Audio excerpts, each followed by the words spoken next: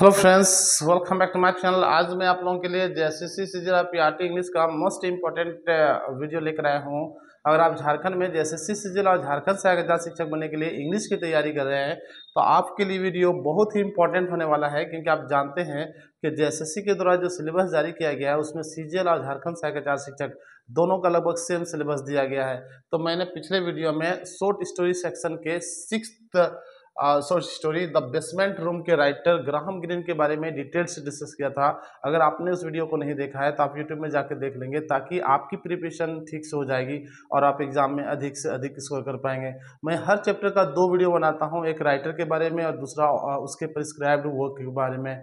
दोनों वीडियो को आप देख लेंगे तो आपकी प्रिपरेशन बहुत अच्छी हो जाएगी, क्योंकि आप जानते हैं कि सिर्फ़ जो है वो उसके राइटर के वर्क से क्वेश्चन नहीं आएँगे, बल्कि उससे जो है, उसके राइटर जो है, उससे संबंधित भी क्वेश्चन एग्ज़ाम में पूछे जा सकते हैं।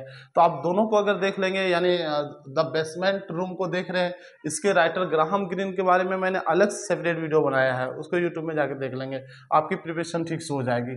तो आज हम लोग इस वीडियो में द बेसमेंट रूम जो शॉर्ट स्टोरीज है सिक्स शॉर्ट स्टोरीज है यानी आपके सिलेबस में छठा जो है the basement room short stories है।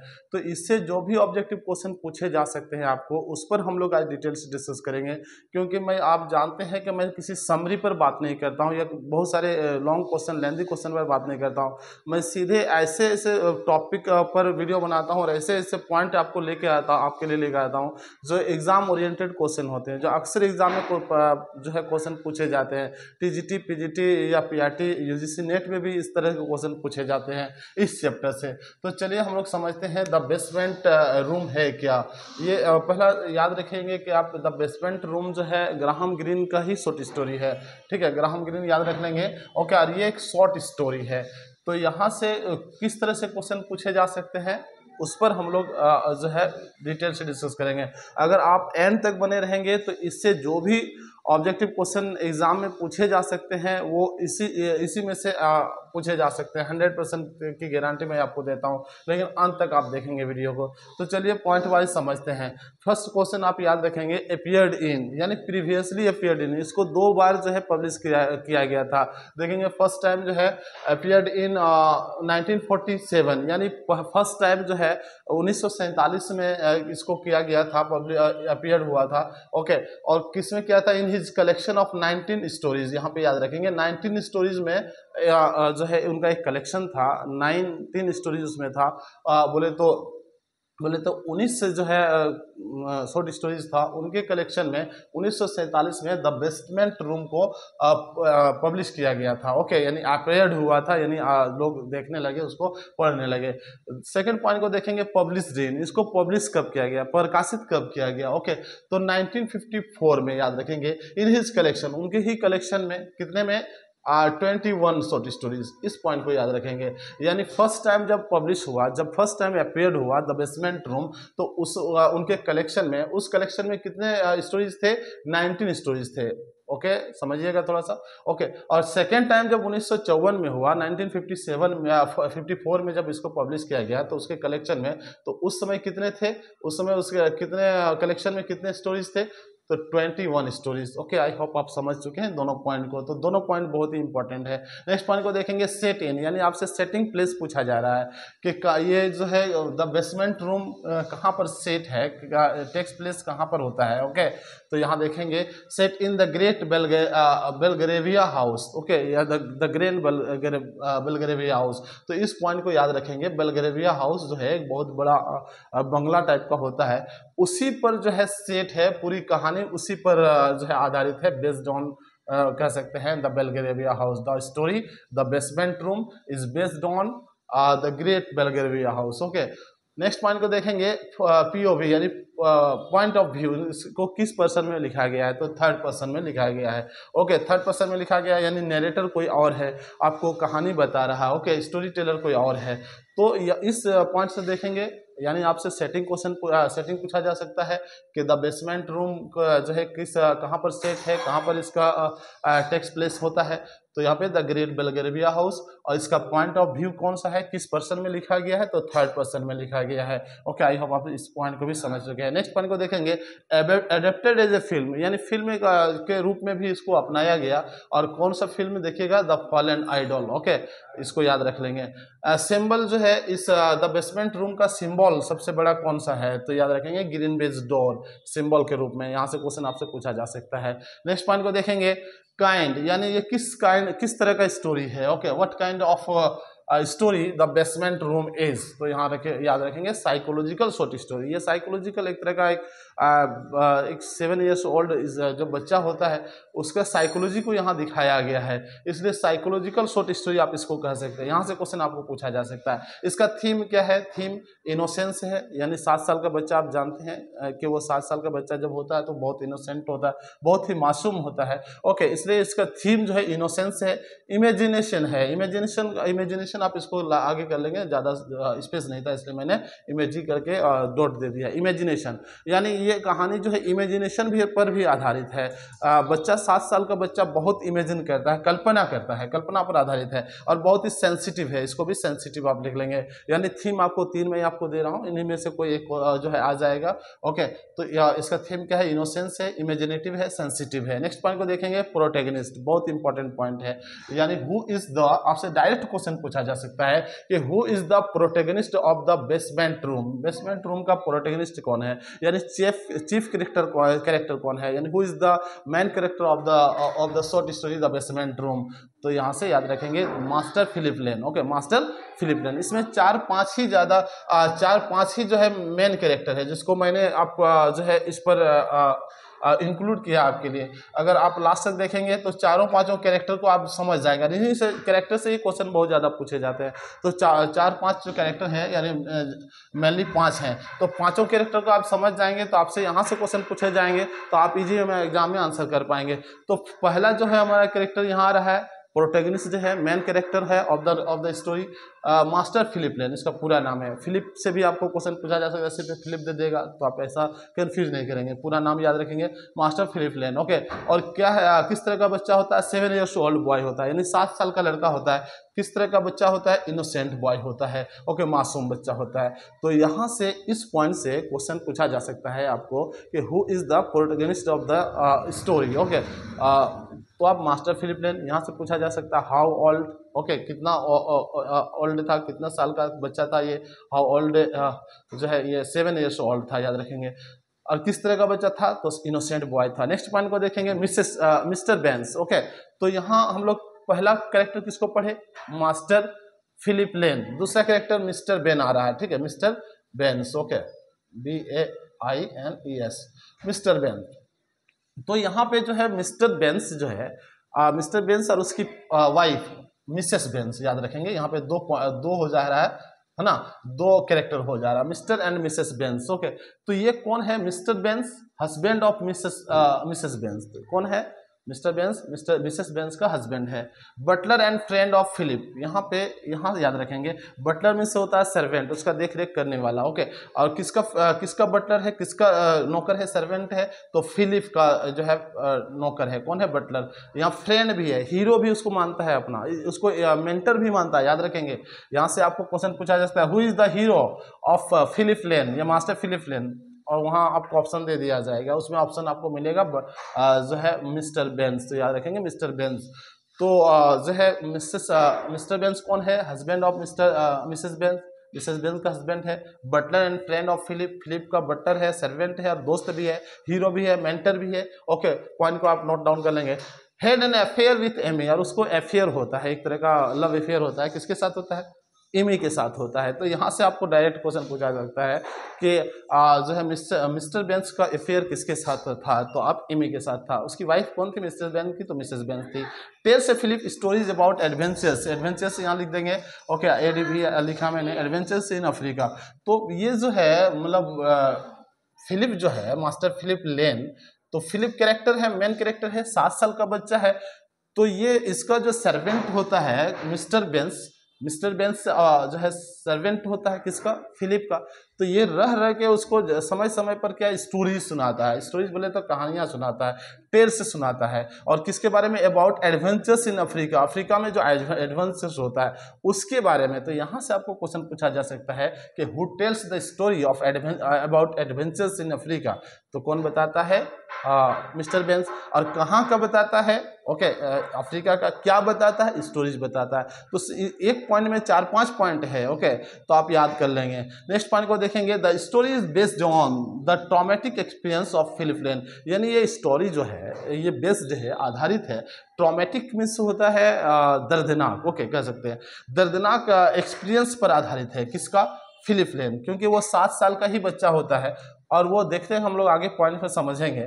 तो हम लोग तीन कैरेक्टर का अभी तक सीख चुके हैं फिलिप लेन एक फिलिप लेन हो गया ओके दूसरा मिस्टर बेंस और तीसरा मिसेस बेंस मिस्टर बेंस जो है एक तरह का मिस्टर बेंस फ्रेंड होता है, तरह रह रह के उसको जो है क्या कहता है जो है हाँ उसको बहुत ज़्यादा लाइक करता है। फिलिप किसको मिस्टर बेंस को बहुत ज़्यादा पसंद करता है। लेकिन मिसेस बेंस को पसंद नहीं करता है। यहाँ से भी क्वेश्चन पूछा जाता है मिसेस बेंस लाइक्स होम ये किसको पसंद करता है? तो मिस्टर बेंस को। Sorry Philip likes home Philip किसको पसंद करता है? मिस्टर बेंस को। क्यों? क्योंकि ये स्टोरी बताता है। समय समय पर इसको जो है खाने के लिए देता है। क्या देता है? डंडी केक देता है। यहाँ पे आप याद रखेंगे, डंडी केक डंडी केक देता है। तो डंडी केक कौन देता है? मिस्टर बेंस देता है। किसको देता है? फिलिप है। छोटा बच्चा है, उसको देता है तो खुश हो जाता है तो दोस्त बन जाता है। उसके बाद जिंगर बियर भी देता है, याद रखेंगे। Ginger G I N G E R ginger B R B double E R ये खाने के लिए ड्यूरिंग द मील मील जब वो खाने का, भोजन खाना शुरू करता है, उसी समय जो है, उस बीच में, उस दौरान में ही इसको डंडी केक भी देता है और जिंगर बियर भी देता है। इसलिए उसको दोस्त बन जाता है। लेकिन मिसेस बेन को लाइक नहीं करता है। क्यों? क्योंकि मिसेस बेन हार्ड जो है, एक तरह का हार्श लेडी थी। बहुत जो है बहुत कठोर स्ट्रिक्ट थी। ओके इसलिए वो जो है, उससे डरता था। तो उसको पसंद नहीं करता है। नेक्स्ट पॉइंट को देखते हैं।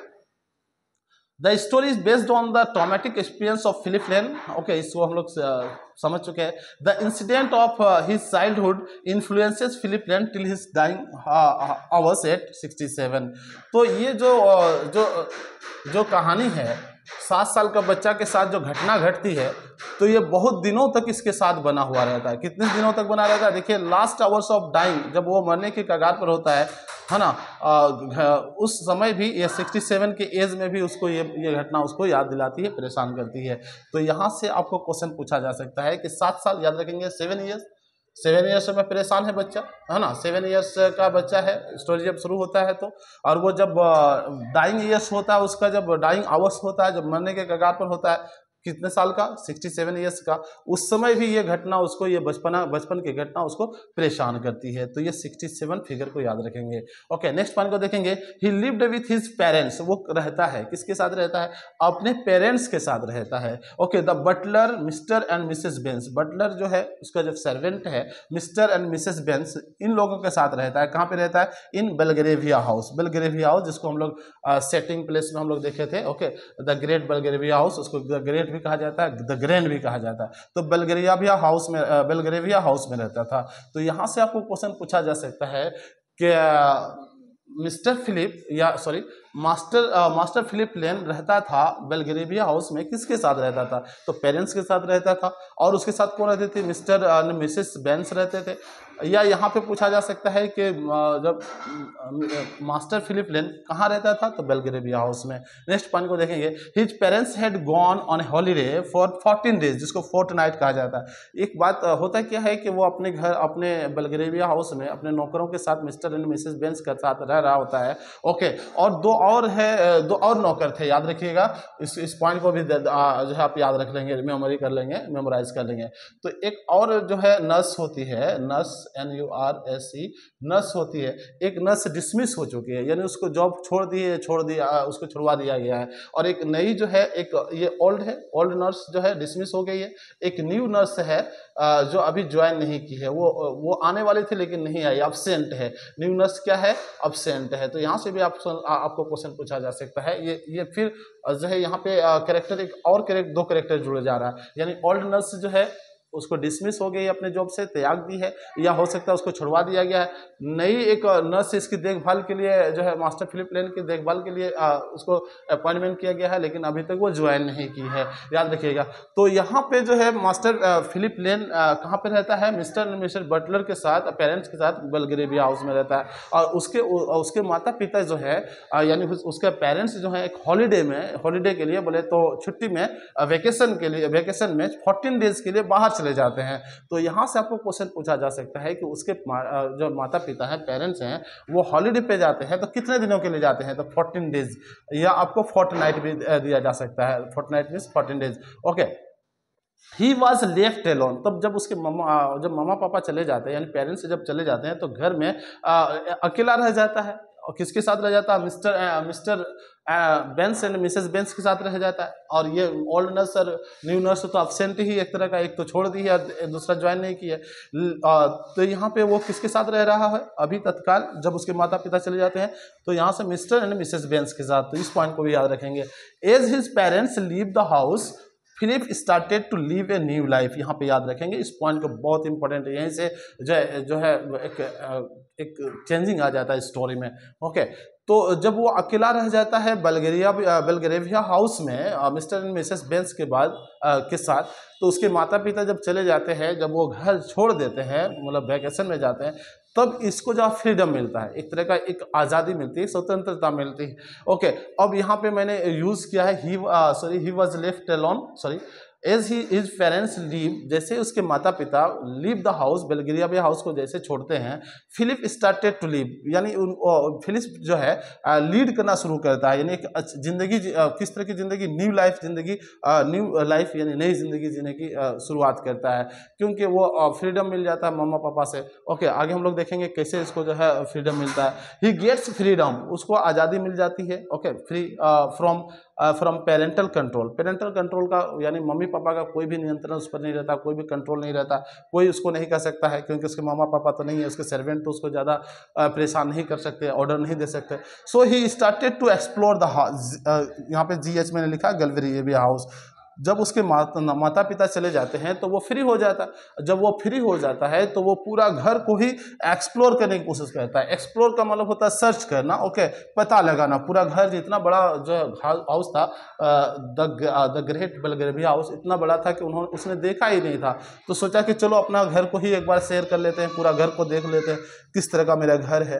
तो यहाँ से आपको क्वेश्चन पूछा जा सकता है कि जब वो आज़ाद हो जाता है मम्मी पापा के पेरेंटल कंट्रोल से जब उसके माँ बाप चले जाते हैं फोर्टीन डेज़ के लिए तो वो क्या करता है? तो पूरे घर घर को सॉरी गलबरेविया हाउस को क्या करता है? एक्सप्लोर करने की कोशिश करता है। ओके नेक्स्ट पॉइंट देखेंगे। He goes through a green baize door to the pantry and the basement room B for basement मैंने लिखा है रूम तो वो सबसे पहले कहता है क्या है? कि वो चला जाता है ग्रीन बेस डोर के माध्यम से। Okay the pantry the basement room में चला जाता है। तो ये ग्रीन बेस डोर क्या है? इस पर हम लोग आगे याद रखेंगे। तो किसके द्वारा, किसके थ्रू जाता है वो? किसके माध्यम से जाता है? ओके किसको क्रॉस करते हुए जाता है? तो ग्रीन बेस डोर को। ओके कहाँ चला जाता है? The pantry the pantry and the bed basement room यानी बेसमेंट वाला जो रूम होता है, कोई भी बिल्डिंग का, उस रूम में चला जाता है। Okay he he goes down in search of uh, he goes down into the basement room in search of Mr. Benz Mr. Benz को खोजने की कोशिश करता है बोलता कहाँ गया है उसके साथ जाएँगे थोड़ा घूमेंगे पूरा घर को देख लेंगे ओके okay, एक्सप्लोर करने की कोशिश करता है the green baize door is dividing line of the of M for master S for servant तो ग्रीन बेस डोर क्या है ग्रीन बेस डोर एक डिवाइडिंग लाइन है, जिससे डिवाइडिंग सेपरेट करता है, किसको? मास्टर को और सर्वेंट को अलग करता है। यानी आप सोच समझ सकते हैं कि घर जो है, बेलग्रेविया हाउस एक ऐसा घर है जो बहुत लंबा चौड़ा घर है। ओके, बहुत बड़ा बिल्डिंग है। तो उसमें एक डिवाइडिंग लाइन है, जिसमें मास्टर इधर रह सकते हैं, यानी घर के मालिक इधर रहेंगे और नौकर उधर रहेंगे।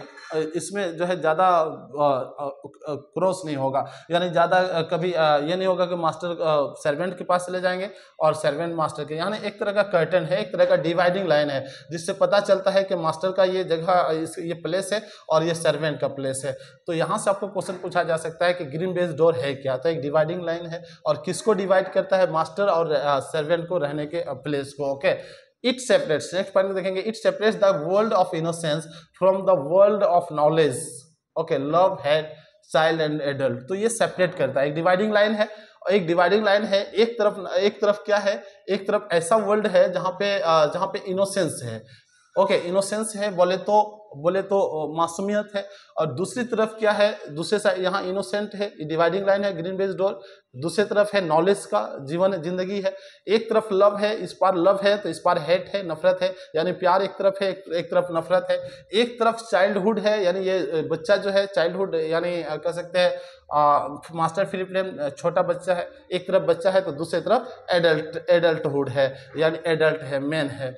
तो यहाँ आप समझ चुके होंगे कि ग्रीन बेस जो है डोर जो डिवाइडिंग लाइन है तो ये दो तरह की चीज़ों को क्या करता है इंडिकेट करता है डिवीज़न करता है सेपरेट करता है। मास्टर और पहला तो पॉइंट है मास्टर एंड सर्वेंट को अलग करता है, नफरत और प्यार को अलग करता है ओके और और क्या चाइल्डहुड एडल्ट को अलग करता है, और नॉलेज और इनोसेंस को अलग करता है। तो यहाँ समझ चुके हैं आई होप नेक्स्ट पॉइंट को देखेंगे he finds a new world behind the green baize door G for green B for baize और डी फॉर डोर तो ये जो है जब जैसे ही चला जाता है, यानी ये जब क्रॉस करता है ग्रीन बेस डोर को जब क्रॉस करता है, पार होता है, उस पार चला जाता है लाइन को green baize door dividing line है, उसको जैसे ही क्रॉस करता है तो वो एक नई दुनिया में चला जाता है ओके नई दुनिया, लगता है कि ये तो न्यू वर्ल्ड है।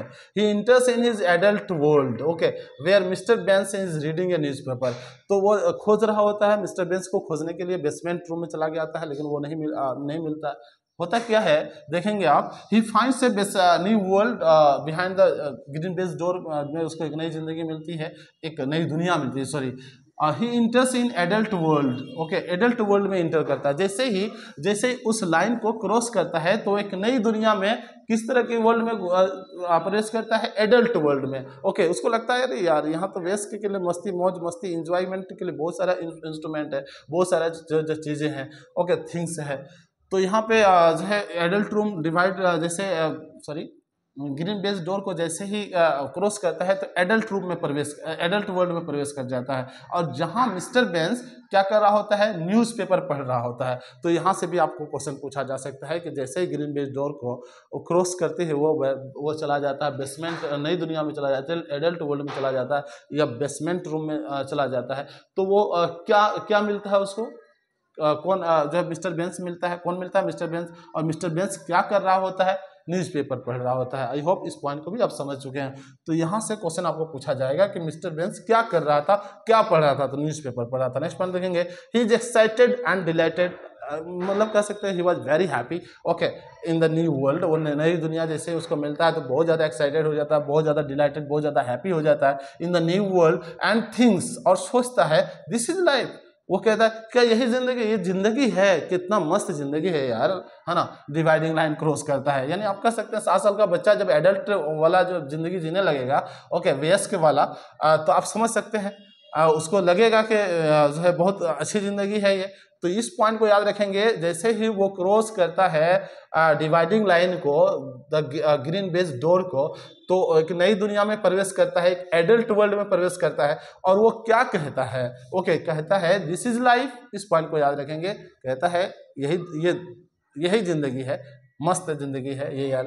ठीक है where Philip ask Mrs Bain to go for walk Mr staff same तो होता क्या है कि मिस्टर जो है वेन फिलिप फिलिप कहता है मिस्टर बेंस को कि चलो हम जो है थोड़ा वॉक के लिए चलते हैं। इतना बड़ा घर है बेलगरेबी हाउस तो चलो हमको घुमाओ, शेयर कराओ। ओके थोड़ा सा बाहर भी ले चलो हमको। तो उस समय ये बात सुन रही होती है। कौन सुन रही होती है? मिसेस बेंस, यानी मिस्टर बेंस की वाइफ। कहते वो कुछ काम कर रही होती है, घरेलू काम कर रही होती है, डोमेस्टिक जो वर्क्स होते हैं, लेडीज़ का वो काम कर रही होती है। वो कहती है no no no you don't take him to another room okay या अनदर प्लेस उसको मत ले जाइए, कहीं दूसरा रूम में या दूसरे जो है प्लेस मत ले जाइए। वो रोक लेती है। किसको? मिस्टर बेंस को रोक लेती है। कौन मिसेस बेंस? कब कब रोकती है? जब फिलिप जब जब फिलिप कहता है, मिस्टर बेंस को चलो हमको घूमने के लिए ले जाओ कहीं तो वो रोकती है। तो यहाँ से आपको क्वेश्चन पूछा जा सकता है क्या फिलिप लेन जब मिस्टर बेंस को वॉक के लिए कहता है कि चलो हम लोग घूमने जाते हैं तो कौन रोकता है मिसेस मिस्टर बेन को? तो मिसेस बेंस रोकती है। ओके? नेक्स्ट पॉइंट रखेंगे he flees the Belgravia house तो जब वो नहीं जाता है, उसको नहीं ले जाता है शेयर कराने नहीं जाता है, घूमने के लिए नई दुनिया में जब घूमना चाहता है वो, थोड़ा सा बाहर जाना चाहता है तो वो नहीं ले जाता है। कौन नहीं ले जाता? मिस्टर बेंस, किसके कहने से नहीं ले जाता है? मिसेस बेंस के। तब ये भाग जाता है फ्लीज हो जाता है। कौन? ही मतलब फिलिप। फिलिप क्या कहता है? भाग जाता है फ्लीज रन रन सवे कह सकते हैं। भाग जाता है the Belgravia house. Belgravia house से भाग जाता है स्केप हो जाता है, वहाँ से पीछा छोड़ा के भाग जाता है। And and enters new world okay alone और वो नई दुनिया में अकेला प्रवेश करता है, उसके साथ कोई नहीं रहता है। ओके इंजॉय इंजॉय पूरा करता है। ही मूव्स द तो यहाँ से आपको क्वेश्चन पूछा जा सकता है कि मिस्टर मास्टर फिलिप लेन जो है, क्या करता है? भाग जाता है। कहाँ से भागता है? बेलग्रेविया से। किसके साथ भागता है? तो अकेला भागता है। कहाँ भागता है? न्यू वर्ल्ड में प्रवेश करता है। ओके नेक्स्ट पॉइंट देखेंगे। He moves on the street वो वो क्या करता है? मूव करता है। एक वांडर करता है एमलेसली इधर से उधर घूम रहा है रोड में घूम रहा है स्ट्रीट में घूम रहा है। ओके द जू चला जाता है ओके चिड़ियाघर चला जाता है। The sweet shop okay sweet shop वहाँ पे मिलता है उसको वहाँ चला जाता है। तो टी शॉप भी कहीं कहीं बुक में देख आ, मिला लेकिन आप इस, इसको देख लेंगे टी शॉप है या स्वीट शॉप है?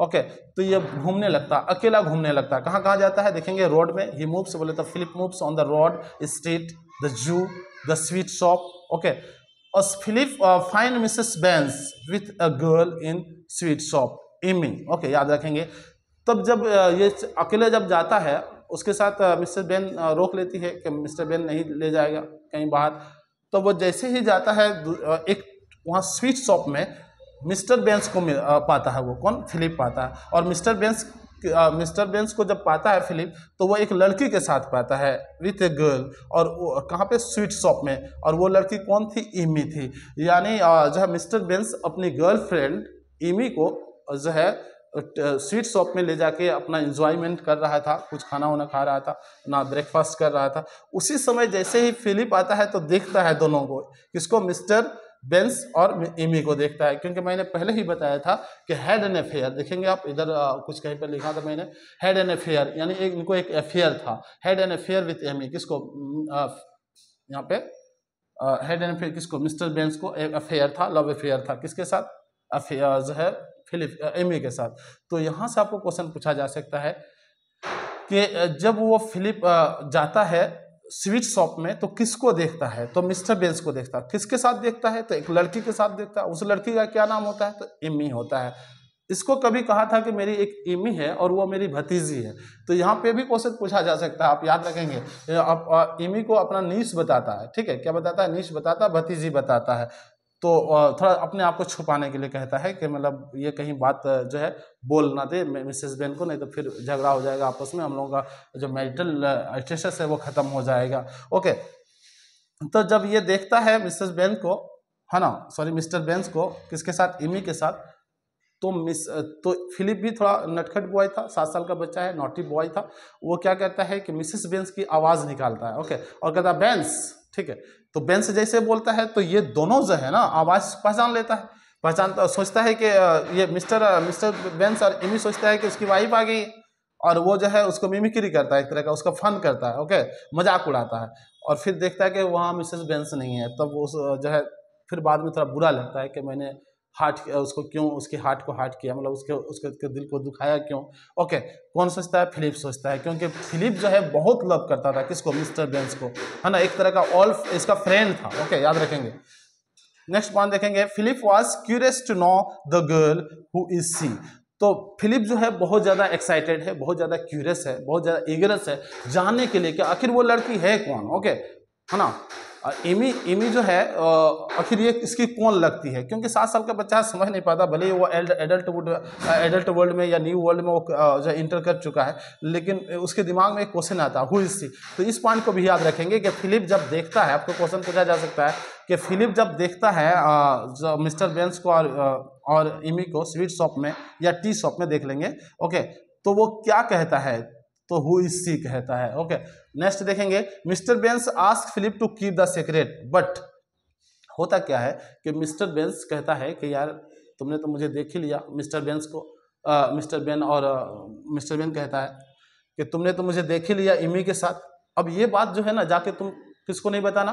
मिसेस बेंस को नहीं बताना कि हम जब मिले थे वहाँ तो एक लड़की के साथ वो चाय पी रहा था या स्वीट खा रहा था। ओके इसके लिए जो है उसको जो है एक तरह का कुछ गिफ्ट भी देता है। लेकिन होता क्या है अनफॉर्चुनेटली होता है जो है दुर्भाग्यवश अपने ऑटोमेटिकली वो बोल देता है। मतलब डेलिबरेटली जानबूझ कर नहीं कहता। ओके वो उससे अचानक जो है उसके मुँह में आ जाती है कि मैंने देखा था मिसेस, मिस्टर बेंस को, इमी के साथ स्वीट शॉप में।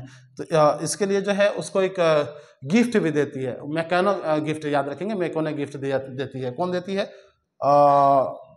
मिसेस बेंस देती है कि तुमने बात बताई अब अब हम उसका क्लास लेंगे मिसेस बेंस को। तो यहाँ से क्वेश्चन पूछा जा सकता है कि मिसेस बेंस जो है आ, ये बात सेक्रेट को बताने के लिए इमी और आ, मिस्टर बेंस के लव अफेयर को बताने के लिए आ, जब इस, सेक्रेट को जब बताती है बताता है Master Philip Lane Mrs Baines को तो मिसेस बेंस क्या देती है उसको? तो मैकेना सेट देती है। ओके याद रखेंगे मैकेना सेट लिख लेंगे।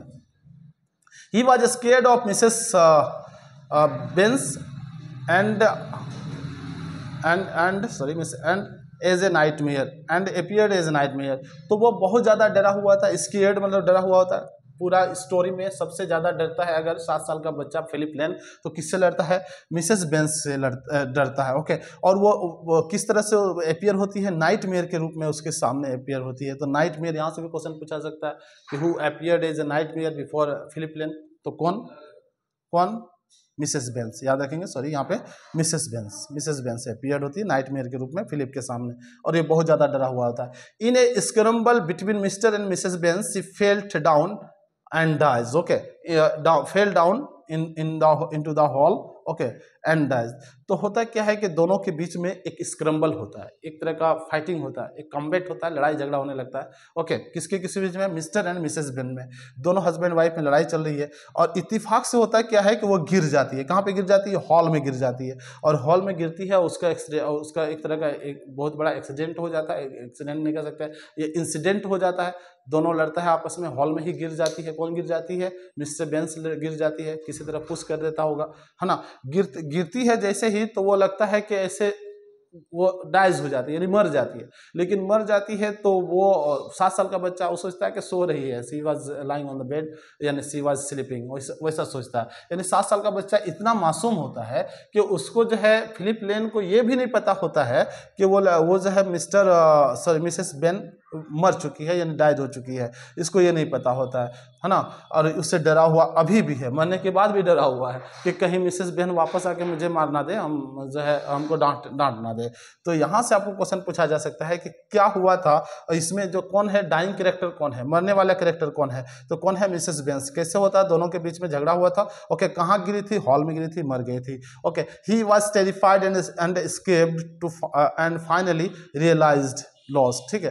तो इससे, इस इस घटना को देखता है तो वो बहुत ज़्यादा डर जाता है स्केड हो जाता है टेरिफाइड हो जाता है, और वो भागना, भागने लगता है।